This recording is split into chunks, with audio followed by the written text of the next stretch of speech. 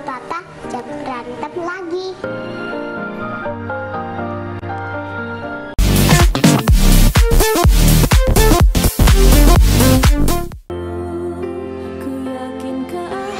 Saat pertama kali saya menikahi kamu, Din.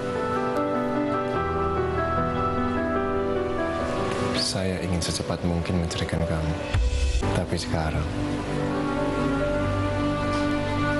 saya nggak mau berpikir seperti itu lagi. Saya mau ini menjadi pernikahan terakhir saya dan kamu. Pernikahan kita. Aldebaran makin hari makin bucin. Lima bulan hidup bersama Andin membuat Papa Al semakin yakin ia merasakan benar-benar apa artinya jatuh cinta. Bahkan Andin sendiri merasa banyak hal yang berubah pada diri Al. Di mana di balik karakternya yang galak, makin lama cinta Al tumbuh semakin berlipat. Gak nyangka loh, kita udah lima bulan pernikahan mas. Pernikahan aku sama mantanku aja cuma bertahan tiga bulan. Itu pun juga karena aku diceraiin. Ya pernikahan kita juga hampir bertahan cuma 4 bulan. Karena siapa? Siapa yang mulai? Siapa yang bikin emosi? Siapa yang bikin aku marah? Kamu kan?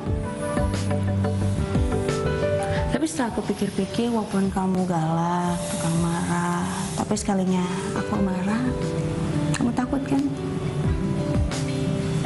Apaan sih? Nggak usah GR.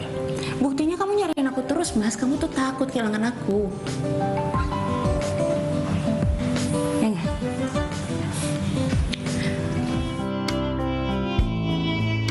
Ya, di balik kebucinan Aldebaran dan Andin, tak bisa dipungkiri ada sentuhan tangan Reina yang diperankan begitu apik oleh Farah Syakila.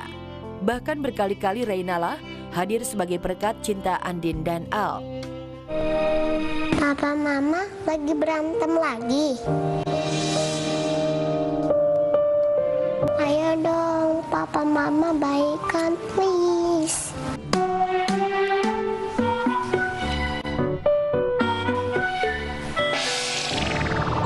Hare, Papa Mama baikan.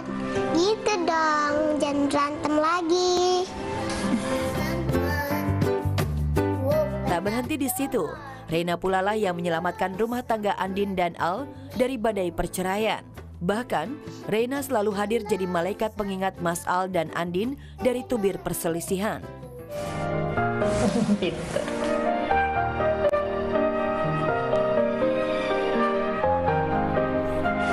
Pak, aku berangkat dulu ya. Mama sama Papa jangan berantem lagi. Kita jalan dulu ya. Dan di mata Mama Rosa, orang tua Aldebaran, Reina lebih dari seorang cucu. Meski identitasnya sebagai cucu biologis keluarga Al-Fahri masih samar, Al dan Mama Rosa merasakan betul sosok Reina penguat hidup Mama Rosa pasca kematian Roy. Mama kenapa sedih? Aku cium Oma ya, biar Oma nggak sedih.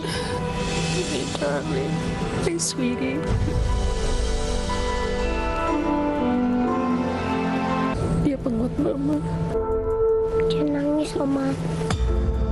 Iya, benar. Rena ini kekuatan mama. Rena yang bisa bikin mama kuat. Rena yang dulu membuat mama keluar dari rumah pemulihan jiwa di Penang. Dan ternyata di balik layar ikatan cinta, sosok Reina di kehidupan nyata juga cukup penghangat suasana.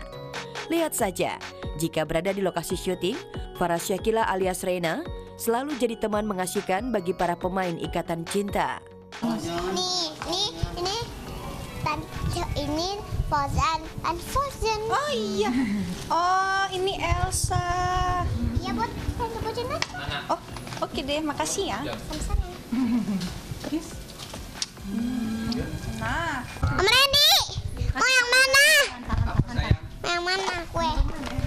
main kalau laki-laki. Aku dikasih Mau Iron Man? Iron Man. Boleh. Wah. Rasa makasih banyak. coklat. Nah, aku udah bukain kayak gini. Hmm. Hmm. Rasa apa? Rasa coklat. Semuanya rasa coklat dong. Hmm. Makasih ya. Cium cium dulu. Cium dulu. Hmm. Wah.